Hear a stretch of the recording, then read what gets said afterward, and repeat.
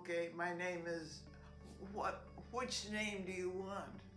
Uh, any of them, all of them. I, my maiden name or my married name? You can go go with your married name. Doreen Villars. Okay.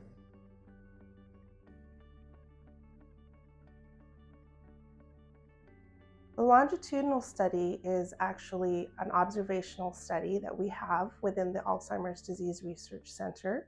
And we have participants, older adults, who have agreed to be part of this study. Uh, they agree to be seen annually um, and have cognitive neuropsychological testing. They allow us to do neurological and physical examinations.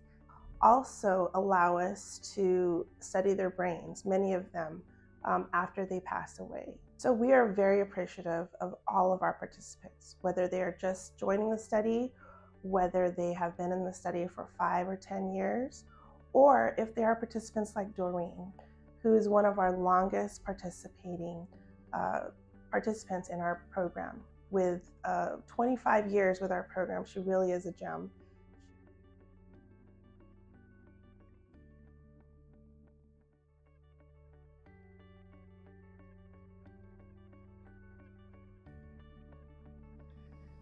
I don't know anybody at this point with the, the disease. I've been very fortunate uh, in that respect. In fact, to, to this day, I do not know anybody uh, intimate, you know, close friend with the disease.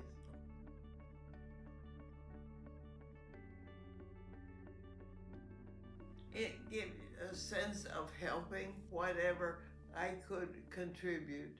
Mm-hmm. that would be to me, to me, my my payback. Maybe whatever I contributed might help down the road.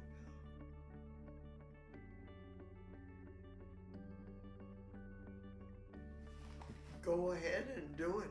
They said, whatever you, whatever I can contribute or anybody else, who knows who it will help, as I say, down the road.